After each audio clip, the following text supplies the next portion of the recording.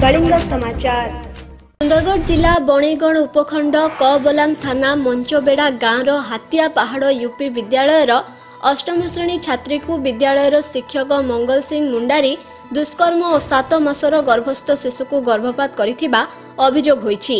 ଆଜି ପୀଡ଼ିତା ଝିଅକୁ ଡାକ୍ତରୀ ମାଇନା ପାଇଁ ବଣେଇଗଡ଼ ଡାକ୍ତରଖାନାକୁ ନିଆଯାଇଥିବା ଜଣାପଡ଼ିଛି।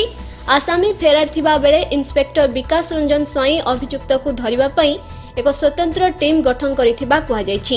ବଣେଇରୁ ଡମ୍ରୁ ପ୍ରଧାନଙ୍କ ରିପୋର୍ଟ କଳିଙ୍ଗ ସମାଚାର।